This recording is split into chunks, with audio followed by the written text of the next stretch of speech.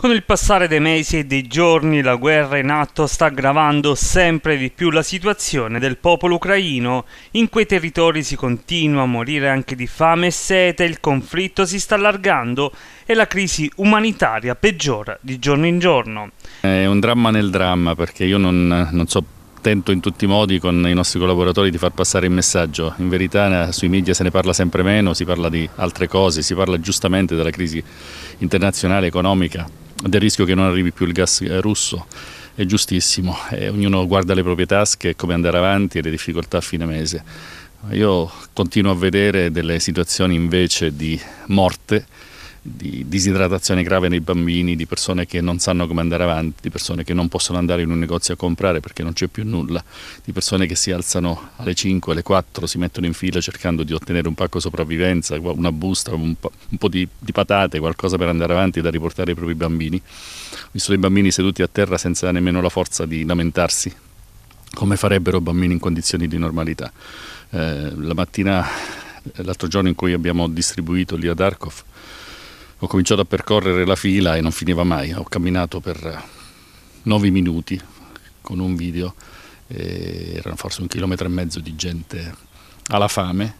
E quando abbiamo finito è arrivata altra gente che non sapeva di dover dire, aspettare il proprio turno e, e urlava disperata perché era affamata, questa è la situazione, quindi noi non vogliamo mollare, cerchiamo con tutti i nostri mezzi possibili di continuare ad aiutare, ma dovete aiutarci, non ce la facciamo economicamente e proprio strutturalmente a reggere questo ritmo per gente che sta morendo di fame. A lanciare un nuovo disperato appello il presidente dell'associazione Cherigma, Sergio D'Ascenzo, appena rientrato in Italia, che ha registrato un netto calo delle donazioni alla sua organizzazione che da tempo è in prima linea per fornire aiuti e assistenza. Eh,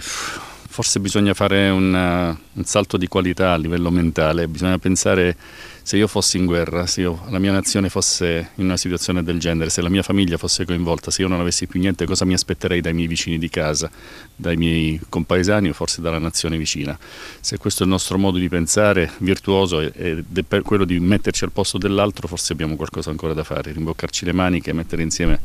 più cose possibili, farmaci, alimenti in scatola, acqua, donazioni che ci aiutino a pagare i tir perché diventano sempre più introvabili anche per la crisi in Ucraina, eh, per riuscire a mandare ancora cose proprio adesso che sempre di più e ogni giorno di più la fame aumenta. Stiamo mantenendo il magazzino aperto a Teramo nonostante sia calato così drammaticamente il flusso degli aiuti, eh, lo facciamo ogni lunedì in questa fase estiva in cui c'è poca gente dalle 15 alle 20 tutto il pomeriggio se avete bisogno in altri giorni, non riuscite a venire lunedì, contattateci e, e troveremo, apriremo eh, su domanda, su richiesta per l'occasione, ma aiutateci ad aiutare, la situazione davvero sarà un dramma nel dramma con una strage umanitaria senza precedenti.